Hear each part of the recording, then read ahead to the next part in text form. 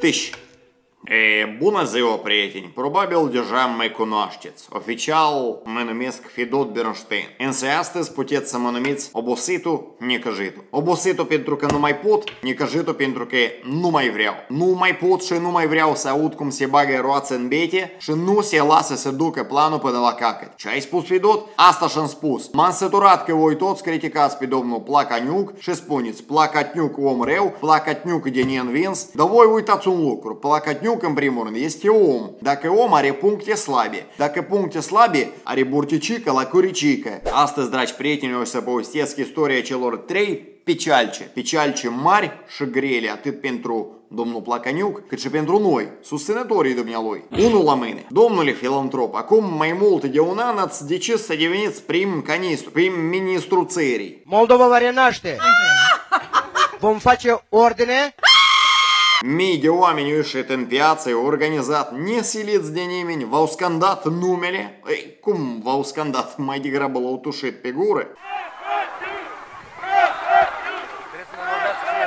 Și cu toate aceste eforturi, președintele Nicolae Timofti v-a respins candidatura. Doi la mâine. În toamna anului 2016, jurnalistul Cristiano Cafeluței Tabare, jurnalist independent din buzunarul din România, a filmat un documentar despre cum arată o zi de viață, din viața dumneavoastră de zi cu zi. Cum sunteți la muncă, cum sunteți la trai, cum mâncați yogurt, cum jucați șahmate și toate acestea într-o zi. Bineînțeles, documentarul s-a filmat pe parcursul mai multor zile, dar asta pe mine nu mă miră și nu mă supără, pentru că în limba greacă cuvântul televiziune înseamnă dacă nu mai ești, capusta nu primești. Doar că ce să faci dacă tineretul ăsta destrăbălat pe internet sunt niște tentelei și s-au apucat să vă critice, nu v-au luat în serios, v-au luat în deredere și nu v-au crezut atunci când ați spus că beți vin de 3 euro. Da, așa la o primă vedere, e drept că n-am deschis dulapurile, dar cel puțin așa cum văd la prima vedere, nu sunt neapărat nici cele mai scumpe vinuri, dar nici cele mai... Uh... Nu, chiar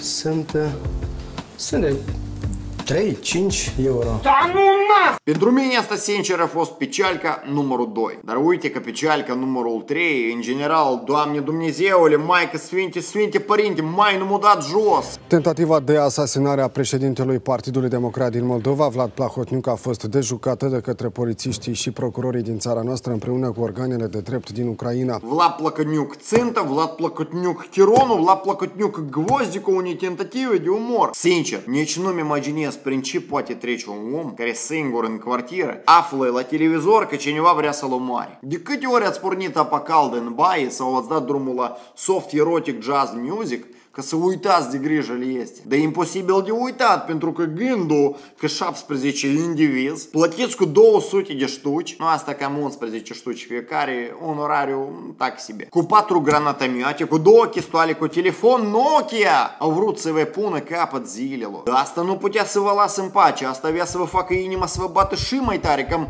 la fel de tare cum îmi bate mie inima când aflu că s-au colectat deja 42 de miliarde de semnături în favoarea votului uninominal. Și asta doar în raionul Camenca. În concluzie, în con- concluzie, în concluzie, domnule Placaniu, cu trei picialce dureroase la activ, cu internauții care mor în ho-ho-ho-hote de râs de dumneavoastră, nouă ne rămâne o singură nădejde. Nădejdea oamenilor cu bun simț. Că dacă această știre n-a prins în Moldova, măcar piște hotarele ei să prindă. Știrea despre tentativa de asasinare a lui Vlad Plahotniuc a ajuns și în atenția presei din India. O, iată, frumos rezultat, dătător de speranță, mai ales că India noi cunoaștem, putem să avem încredere. Acolo forțele de ordine, uh, vai, vai, vai, cum se poartă cu criminali.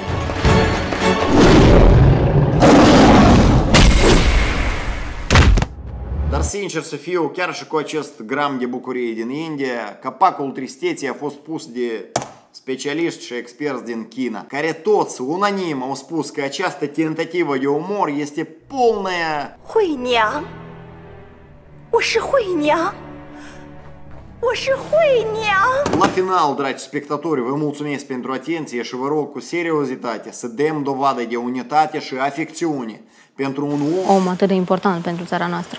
Haideți mai jos în comentarii și oriunde ne-am aflat pe glob să folosim următoarele hashtag-uri. Suntem cu tine, domnule, tu nu ești singur în apartament, privește în dulapior și nu vă jucați cu puța în nisip cu alți doi bărbați din Ucraina.